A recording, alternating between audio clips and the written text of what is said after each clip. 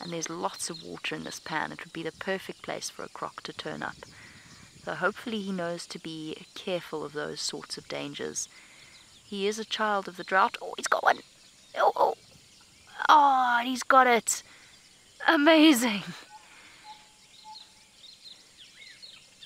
So he's obviously really practiced this technique. This is something he has got down.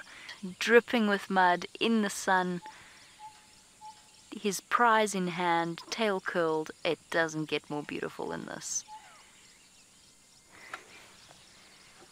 Little boy. You're very proud of yourself.